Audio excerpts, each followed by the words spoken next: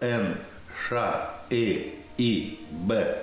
Сегодня Вячеслав Деревянко доволен своим зрением, однако так было не всегда. Еще совсем недавно у мужчины была катаракта. Правым глазом он не видел даже на расстоянии вытянутой руки. За оперативным лечением заболевания он обратился в клинику 10 строчек. Мне понравилось то, что первое, доброжелательное отношение, весьма умеренные цены, это однозначно, я могу сказать. Операция сделана, сделана качественно, претензий никаких, наоборот, только благодарность. Катаракту сейчас лучше хирургически лечить на ранних периодах, не дожидаться полного созревания. Операция по замене хрусталика является единственным эффективным способом лечения этого заболевания. Операция длится недолго, через прокол в роговице хирург вводит ультразвуковой наконечник внутрь глаза, измельчает помутневший хрусталик, удаляет остатки и через этот же прокол имплантирует новый искусственный хрусталик.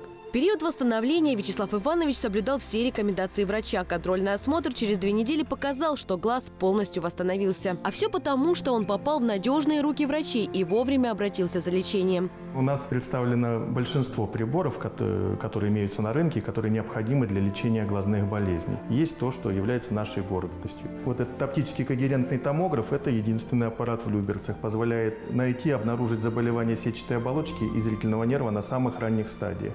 Глазной центр 10 строчек специализируется прежде всего на хирургическом лечении катаракты. Также здесь избавляют от многих других глазных недугов. Благодаря клинике увидеть мир здоровыми глазами смогли многие жители Люберец.